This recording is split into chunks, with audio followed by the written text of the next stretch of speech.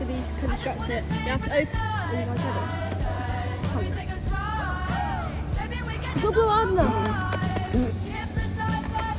Why do I get faulty bubbles? Oh, it's a max.